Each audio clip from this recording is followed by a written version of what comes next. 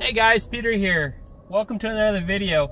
Today we're going to talk about FBM versus FBA.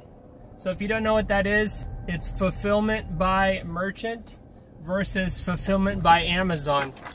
So if you're looking to start a business with Amazon, that's something you're going to have to decide on, you know, what's going to work best for you. And I've gone through this myself, so I figured, hey, it's something that might be helpful for you guys that are looking that are looking to possibly get into the Amazon game. And uh, before we get into that, please smash that like button as always. When you hit that like button, it tells YouTube that this content is important and more people will get the chance to be able to see this and um, hopefully benefit from it. So smash that like button and consider subscribing if you haven't yet. Um, on this channel, we talk about cryptocurrency. We talk about you know, home-based businesses, making money online, investing, things like that. So anything to kind of move you away from a boss and get you more into that residual lifestyle, the more of a flexible way of doing things. So it's not for everybody, but if you're on this channel, you're thinking about it. So that's what this channel, that's what this specific channel is about. So with that said, let's go ahead and get into it. So fulfillment by merchant versus fulfillment by Amazon. What are the options? What are the pros? What are the cons? And when I put it together, I personally, well, we'll start into what are the pros. If you're doing fulfillment by merchant, you have more control. You have the products on hand because you're you, you're shipping them out. You're labeling them, you're packaging them, you're doing all the shipment um, through and through on your own or, you know, with a team or whatever. And so you're going to save some money with the shipment part. And so, and then you have the control aspect. So those are two positives is that you will save some money and you will be able to have more control because you're going to have them on hand. So that's something positive. The downside with it is that you're going to have to deal with the shipping yourself. And with that, it's going to take you more time to maybe be able to deal with and, and deal with the uh, research for another product or research on what you're already doing. So you got to ask the question, is it worth the couple bucks? And at least from last I've seen, it's a couple bucks of a savings to give more of your time. Now, I never did fulfillment by merchant at all for a couple reasons.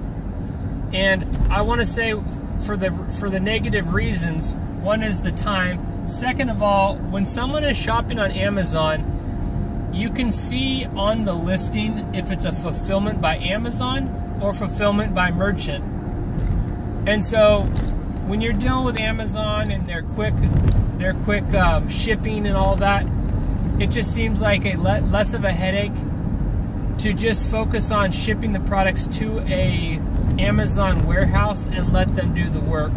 So, so when you do a uh, a um, fulfillment by merchant, there's not as much trust there. Whereas if Amazon deals with it and they're very, you know, customer focused, um, you're gonna see more trust in it, and and they know they can they get better shipping. Um, I guess shipping deals and, and more trust built there. So the positives for, and you have to decide on what's best for you. The positives for uh, fulfillment by Amazon is you have the credibility of it coming from Amazon, and the customer knows that. So they're dealing with Amazon directly. They're not dealing with someone that they don't know. You know, you versus anyone else. That you could. It just there's there's a credibility and trust there, um, and they, Amazon does a pretty good job for the most part. You know, I talked about the situation I had, and I couldn't believe I was charged, but that, that's a different situation. Um, another pro is that you save time. So, I had 10 products, up to 10 products in my selling career that I was that I have created listings for and launched. So I didn't have time to do the shipping, and I had a hard enough time shipping um, the bulk when I got them, going to the, you know, Office Depot to ship them out to an Amazon warehouse. That was hard enough for me.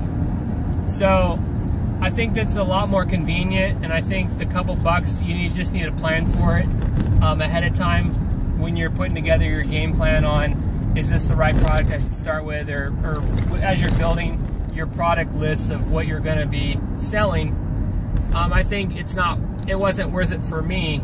Shipping it directly to the warehouse was enough work. Um, but some of the cons is the cost. I did have to give up a few bucks because of that. And I didn't have the control and things like that.